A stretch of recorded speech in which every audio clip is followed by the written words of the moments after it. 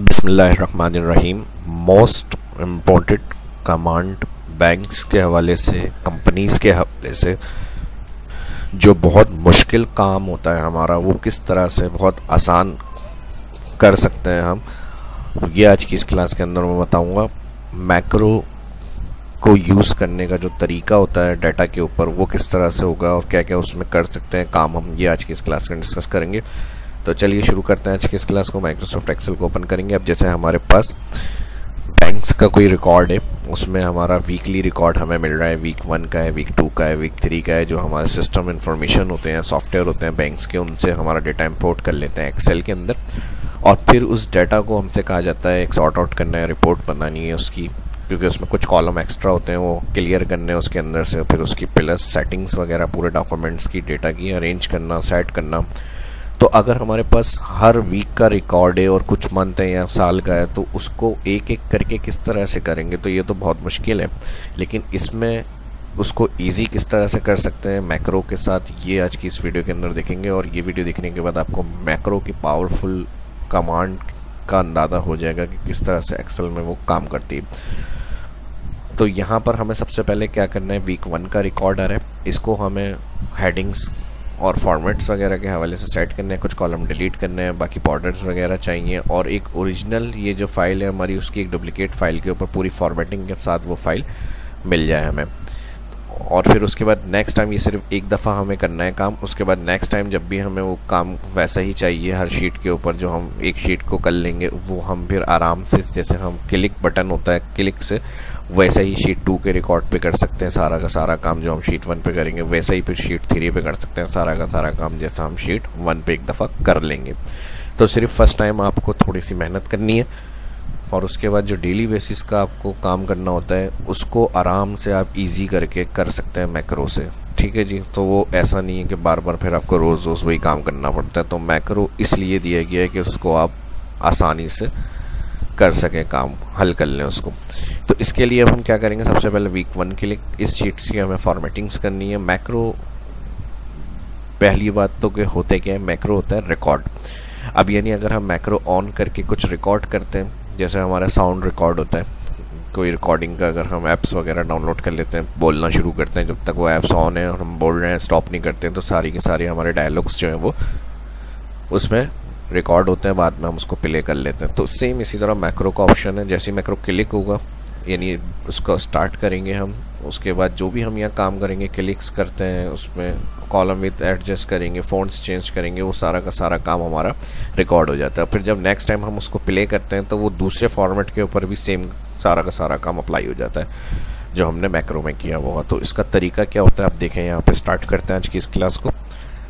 यहाँ मेरे पास डेवलपर होने किसी भी मेन्यू पर राइट क्लिक करेंगे कस्टमाइज रिबिन ये डेवलपर ऑन करने के लिए मैं तरीका बता रहा हूँ आपको, उसके बाद कस्टमाइज में जाके यहाँ पर आपको डेवलपर पे चेक लगाना है ओके करेंगे। मेरा ऑलरेडी ओके चेक तो यहाँ डेवलपर में इसका ऑप्शन शो हो रहा। है और यहाँ पर हमें दिया हुआ होता है मैक्रो और यहाँ पर दिया हुआ होता है रिकॉर्ड मैक्रो अगर कोई पुराना आपका प्रीवियस मैक्रो पहले से सेव है तो आप उसको यहाँ से रन कर सकते हैं जाके।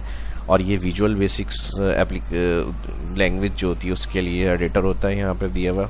और इसको रिकॉर्ड ऑप्शन में जाकर स्टार्ट करते हैं। क्योंकि अभी फ़र्स्ट हम स्टार्ट कर रहे हैं, कोई पहले से हमारा रिकॉर्ड मौजूद नहीं है तो हम इसको स्टार्टिंग के लिए सबसे पहले मैक्रो रिकॉर्ड पे यहाँ क्लिक करते हैं। जैसे ही रिकॉर्ड क्लिक करेंगे तो ये मैक्रो नेम पूछेगा, आपसे कोई भी नाम दे सकते हैं यहाँ पर। स्पेस नहीं होनी चाहिए, ठीक है जी, नाम के दरमियान में। उसके बाद कोई शॉर्टकट की आप चाह रहे हैं कि हमें इसमें आके शो क्लिक नहीं करना पड़े, बस हम शॉर्टकट की से जब हम उस मैक्रो को चाह रहे हैं, किसी डेटा पे रन हो जाए तो फिर आप यहाँ पर उसकी जो शॉर्टकट की है, वो यहाँ बना सकते हैं। और शॉर्टकट की इस तरह की आपको बनाना है, जो नॉर्मल हमारी जो कीज़ हैं, उसमें वो यूज़ ना होती हूँ। जैसे हम कंट्रोल ए ऑल सेलेक्ट करते हैं कंट्रोल एन न्यू के लिए control S save S save control W close control P print तो इस तरह की जो शॉर्टकट कीज़ हैं, जो माइक्रोसॉफ्ट ऑफ़िस में डिफ़ॉल्ट होती हैं, उस पर इफ़ेक्टेड ना हो तो वो शॉर्टकट कीज़ आपको यहाँ पर सेट करनी है। ये काम करने के बाद मैक्रो डिफ़ॉल्ट मेरा और वन आ रहा है। अगर आप एक से ज़्यादा मैक्रो भी बना सकते हैं, मैं सिर्फ़ एक ही मैक्रो में आपको समझा रहा हूँ। अगर एक से ज़्यादा मैक्रो है अब जैसे एक मैक्रो आपने बना ली, जैसे आप दोबारा इस वर्कबुक में मैक्रो रिकॉर्ड करेंगे तो मैक्रो टू आ जाएगा। फिर तीसरी दफ़ा अगर मैक्रो रिकॉर्ड करेंगे तो मैक्रो थ्री हो जाता है। इसको आप चेंज भी कर सकते हैं नाम को, ताकि कौन सा काम हमने किस मैक्रो में किया हुआ उस नाम से आपको समझ में आ जाए। तो इस नाम को चेंज कर सकते हैं। नाम चेंज करने में मैंने बता दिया स्पेस नहीं होनी चाहिए। सिंपली मैक्रो वन कर दिया, ओके। अब देखें, जैसे ओके करेंगे, अभी रिकॉर्ड मैक्रो फिर यहाँ स्टॉप हो जाएगा। यानी अभी आप जो है एक्टिव हैं। जब यहाँ स्टॉप लिखा हुआ आ रहा है तो मैक्रो आपका रन पोजीशन के अंदर जो आप काम कर रहे हैं सब रिकॉर्ड है। अभी देखें रिकॉर्ड मैक्रो है, जैसे ओके करेंगे, यहाँ पर स्टॉप रिकॉर्डिंग यानी आप, जो भी आप काम कर रहे हैं, वो अभी आपका कंटिन्यू है। तो इसमें एक बात का ख्याल रखिएगा कि आप कंट्रोल जेट वगैरह ना करें। तो क्योंकि जो भी क्लिक्स होंगे कंट्रोल जेट वगैरह अंडू वगैरह, वो सब आपके ऐड हो रहे होते हैं उसमें। कोडिंग के अंदर जो इसकी मैक्रो में पीछे बन रही होती है। ठीक है जी? तो यहाँ पर आपको करना क्या है मैं चाह रहा हूँ, ये ओरिजिनल फ़ाइल अपनी जगह रहे, उसकी एक डुप्लीकेट फ़ाइल हमारे पास आए, जिसमें हम फॉर्मेट्स वगैरह कर लें और कुछ डिलीट करना है। कॉलम्स हमें नहीं चाहिए एक्स्ट्रा कॉलम्स हैं, वो डिलीट वगैरह करें। बाकी करेंसी वगैरह के सिंबल्स हैं टोटल हैं फार्मूले हैं बॉर्डर हैं, ये सारे काम हमारे ओरिजिनल फ़ाइल फ़ाइल उसी तरह है एज इट इज़ जिस तरह हम कंप्यूटर से इम्पोर्ट कर रहे हैं, यानी सॉफ्टवेयर से इम्पोर्ट कर रहे हैं अपने एक्सेल के अंदर, और फिर उसकी डुप्लीकेट के ऊपर वो सारी जिस तरह का हमें डाटा सेट करना है, उस हिसाब से उसकी फॉर्मेटिंग के साथ है तो सबसे पहले काम इसको हम राइट क्लिक करेंगे। यहाँ पर हमारे पास ऑप्शन आ रहा है मूव और कॉपी मूव और कॉपी में कौन सी फ़ाइल की कॉपी है? अभी हमारी जिस पर हमें फॉर्मेट करना है, वो वीक वन का रेट है। यहाँ पर वीक वन का नाम से आ रही है, और क्रिएट अ कॉपी उसकी यानी सबसे पहले तो एक कॉपी बने। कॉपी आ गई सेम नाम की कॉपी बनेगी और उसके साथ टू लिखा हुआ आ गया। अब करना क्या है, मैं चाह रहा हूँ कि यहाँ पर जो है ये हेडिंग्स के जो हेडर्स आ रहे हैं, इसकी अलाइनमेंट सेट हो सेंटर और थोड़े से फॉन्ट बड़े और कलर में आ जाए। तो इसके लिए फिर हम क्या करेंगे, यहाँ पर सिलेक्ट करेंगे इसको। कंट्रोल शिफ्ट राइट एरो से सिलेक्ट और यहाँ से रॉ की हाइट बढ़ा ली हमने। और यहाँ से होम मेन्यू में जाएँगे अलाइन सेंटर बोल्ड और यहाँ से फ़ॉन्ट थोड़ा बड़ा करेंगे। और फ़ॉन्ट बड़ा करने के बाद ज़ाहिर सी बात है, जब ये काम होगा तो टेक्स आपका कॉलम से मिस हो रहा है, यानी आउट हो रहा है। तो इसको मैं चाह रहा हूँ ऑटो फिट हो जाए। तो इसके लिए फिर हेडिंग के पास से आपको सिलेक्ट करना है। डाटा को हेडिंग के पास से सिलेक्ट करेंगे। और ऑटो फिट के लिए होम मेन्यू में यहाँ पर फॉर्मेट ऑप्शन के अंदर हमें दिया होता है ऑटो फिट कॉलम विथ ये काम हो गया। उसके बाद मुझे बॉर्डर सप्लाई करना है। इस पर all select control shift right और कंट्रोल शिफ्ट डाउन और यहाँ से हम आ जाएँगे। इसके अंदर हम कर देंगे ऑल बॉर्डर्स ऑल बॉर्डर्स के बाद मुझे हेडिंग्स के कलर्स को भी चेंज करना है। तो मैं यहाँ से चाह रहा हूँ इस पर क्लिक और यहाँ से इसका कलर्स हेडिंग्स का ये आ जाए और यहाँ से इसका फ़ोन कलर हो जाए। वाइट कॉलम्स अब हमें नहीं चाहिए, कुछ एक्स्ट्रा कॉलम इसके अंदर बने हुए आ रहे हैं। तो यहाँ से आप उसको सिलेक्ट करें, जो कॉलम नहीं चाहिए, वहाँ से आप डिलीट कर दें उसको। ठीक है जी, जो आपकी ज़रूरत के नहीं है एक्स्ट्रा कॉलम उसमें बने हुए आ गए तो आप इस तरह से उसको क्लियर कर सकते हैं। डिलीट डिलीट ठीक है जी, जो रखना है कॉलम आप रख लें और जो आपको क्लियर करना है, वो आप क्लियर कर सकते हैं। उसके बाद मैं चाह रहा हूँ करेंसी फॉर्मेट में आ जाए, इसको कॉलम को all entire select home menu में यहाँ पे दिया हुआ होता है? रुपीज़ फॉर्मेट के लिए कॉमा यानी थाउज़ेंड सेपरेटेड लिखा हो जाए इसमें, और इस तरह से आप क्लिक करके उसको चेक कर सकते हैं, ठीक है जी? और इसी तरह सेम जिस जिस कॉलम में ये काम करना है फॉर्मेट्स करेंसी का, उसको आप सिलेक्ट करेंगे, और यहाँ से आप जाकर उसमें क्लिक कर देंगे कॉमा स्टाइल ठीक है जी? अब किसी कॉलम्स को अगर आप चाह रहे टोटल भी आए उसका साथ तो यहाँ पर आप एंड में जाएँगे शीट में, और यहाँ पर आप ऑल्टर इक्वल प्रेस करेंगे।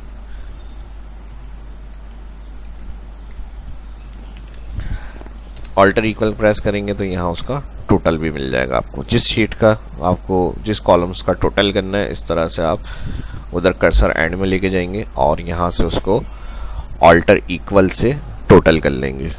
ठीक है जी, ये काम कर लिया इसके अंदर हमने।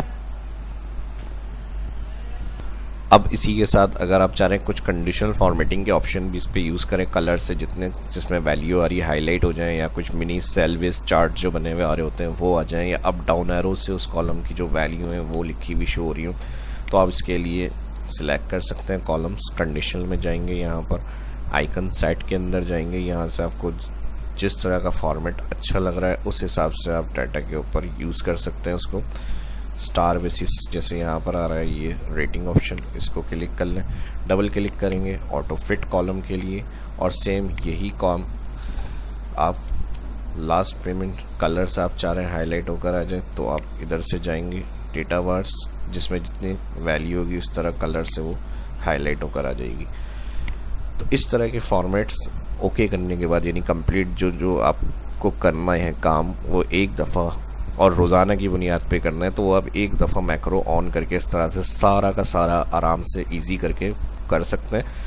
और जिन बातों का मैंने बताया, उन बातों का ध्यान रखना है। और एक अलग शीट के ऊपर हमने बनाना था तो वो हमने डुप्लीकेट निकाली पहले, ताकि ओरिजिनल फ़ाइल अपनी जगह रहे और उस दूसरी डुप्लीकेट के अंदर डिलीट वगैरह करके उसकी फॉर्मेट सेटिंग वगैरह करके ओके कर दें। ये ओके कर लिया हमने, सारा कंप्लीट हो गया काम।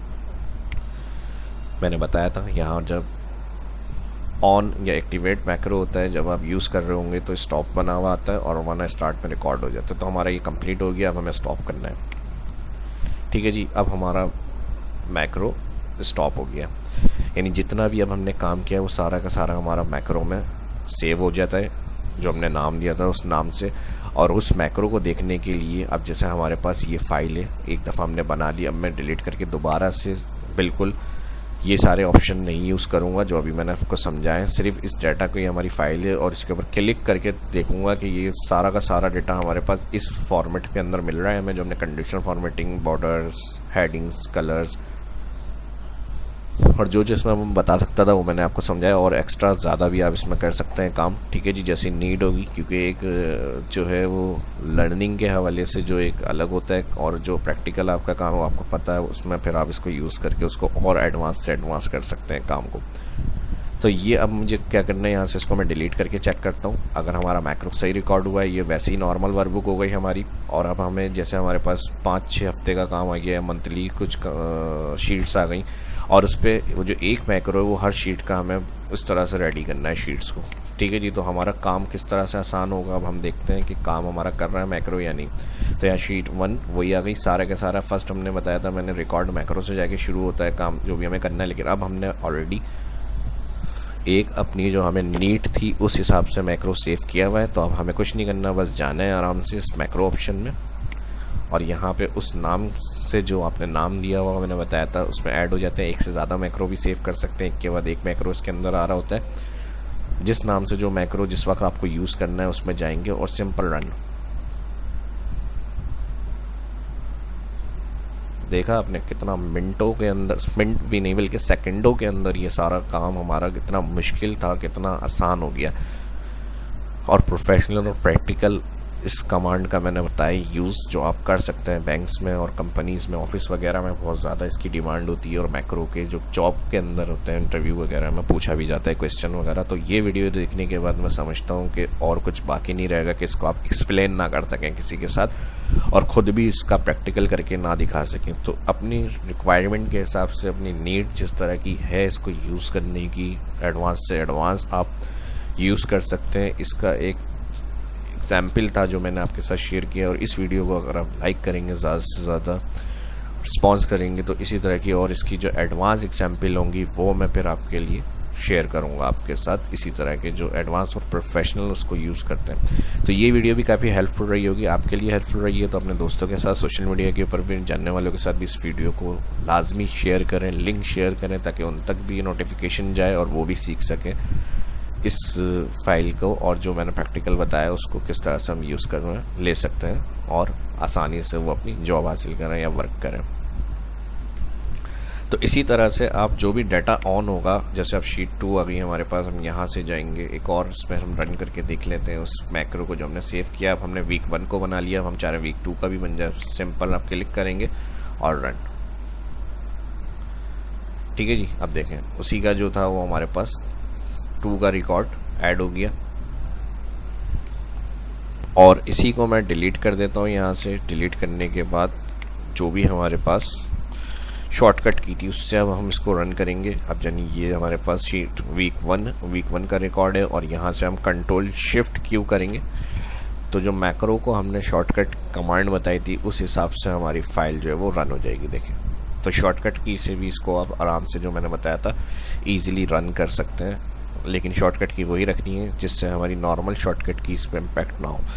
ठीक है जी तो ये हो गया हमारा कंप्लीट इसमें ए टू जेड जो चीज़ें थी, वो मैंने कवर कर ली और फ़ाइल मेन्यू में जाएँगे यहाँ से सेव एस सेव एज में जब आप जाएँगे ब्राउज ब्राउज में आप जाएँगे यहाँ पर, जब भी नेक्स्ट टाइम आप इसको रन करना चाह रहे हैं तो लाजमी सेव एस करते हुए इसका फॉर्मेट आपको रखना है। एक्सेल मैक्रो इनेबल वर्कबुक इसके अंदर इस फ़ाइल को सेव करेंगे और नेक्स्ट टाइम जब भी आप अगर नॉर्मल फॉर्मेट में सेव करेंगे Excel workbook X L X format होता है तो उसमें यह मैक्रो रन कमांड नहीं होगी। तो इस फ़ाइल को जिस वर्कबुक में मैक्रो सेव किया हुआ है, उसमें आपको लाजमी सेव एस टाइप में जाकर एक्सेल मैक्रो इनेबल वर्कबुक करना है। उसके बाद यहाँ पर फ़ाइल नेम जो भी आपको नाम देना है, यहाँ पर आप उसको नाम दे दें और लोकेशन जहाँ पर आपको सेव करना है, वहाँ पर आप लोकेशन अपनी क्लिक कर सकते हैं। ठीक है जी तो ये सेव कर देंगे। तो इस तरह से कंप्लीट सारे ऑप्शंस मैंने आपको बता दिए। अब जो आपको करना है, वो काम जल्दी से कर लें। इस वीडियो को ज़्यादा से ज़्यादा लाइक करें, जो फ़र्स्ट देख रहे हैं चैनल को सब्सक्राइब कर लें। आने वाली वीडियो के बेल आइकन पर क्लिक करना ना भूलें। अपना ख्याल रखें दवा में अंदर रखें। मिलते हैं नेक्स्ट वीडियो में। शाह को इजाज़त दीजिए। अल्लाह हाफिज़।